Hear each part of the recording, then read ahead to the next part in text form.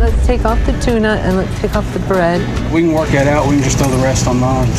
You'd she- pay for yeah.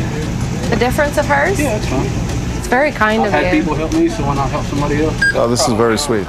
Can I get your address so I can pay you back? I ain't worried about it. Are you sure? Yeah, one day you can help somebody else. You think teachers get paid enough? I think they're probably one of the most underpaid jobs in the United States. You get people that get paid millions just to entertain us. And then people who, you know, teach our kids that actually change the future barely get paid enough to make it on their own. We roll one last time. Let's take off the macaroni and cheese. And right away, this young man offers his credit card. Here, I, I'm sorry. could you just pay for the rest with my card? Would that work? You don't have to do that. I can. No, I, it's not a problem. I, and I'm not inconvenienced. I just feel like I value the education system. I'm friends with some teachers, and it's really sad that they have to pay